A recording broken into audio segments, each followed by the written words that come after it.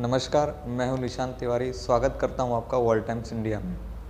सर्दियों का मौसम है और सर्दियों के मौसम में स्मॉग होना एक आम बात है।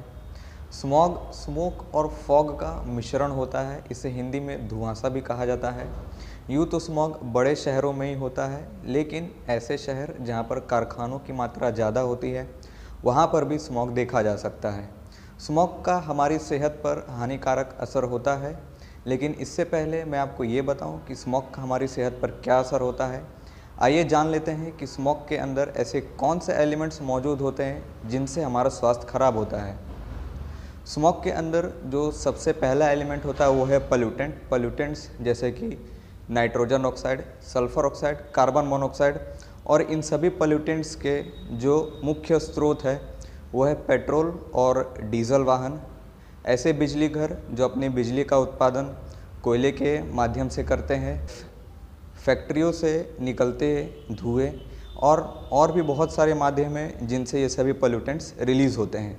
और जो दूसरा एलिमेंट है वो है ओजोन पार्टिकल यूँ तो ओजोन पार्टिकल्स धरती के बाहरी वायुमंडल में मौजूद होता है, जिसका काम हमें सूर्य के अल्ट्रावायलेट रेज से प्रोटेक्शन प्रदान करना होता है। लेकिन जब ये ओजोन पार्टिकल्स हवा में मौजूद होते हैं तो इनका हमारे स्वास्थ्य पर बुरा असर होता है। जैसे सीने में जलन होना, सिर दर्द होना, खांसी आना, आँखों में जलन होना, ये सभी तो आम बात है। लेकिन जो सबसे ज़्यादा प्रभावित होते हैं ओजोन पार्टिकल्स के कारण, वो है अस्थमा के मरीज़।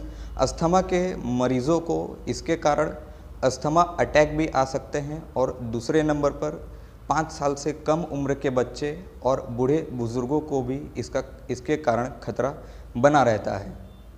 और ऐसे लोग जो किसी भी तरीके के नशीले पदार्थों का सेवन करते हैं, उन पर भी इनका बुरा असर देखा जा सकता है। स्मोक के कारण हमारी विजिबिलिटी भी कम हो जाती है, जिसके कारण रोड पर एक्सीडेंट्स होने की संभावनाएँ भी बढ़ जाती हैं। तो ये तो बात हो गई स्मोक के बारे में और स्मोक से हमारे सेहत पर क्या क्या असर होता है।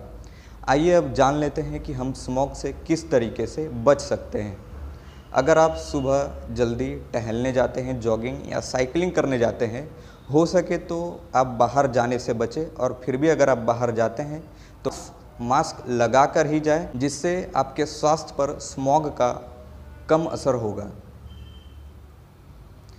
तो ये थी छोटी सी जानकारी स्मोक के बारे में और स्मोक से हमारे सेहत पर क्या क्या असर होता है। उम्मीद है आपके लिए ये जानकारी महत्वपूर्ण साबित होगी। अगर आपको ये वीडियो अच्छा लगा तो लाइक और शेयर ज़रूर करें और चैनल को सब्सक्राइब करना ना भूलें। तब तक के लिए धन्यवाद। जय हिंद, जय भारत।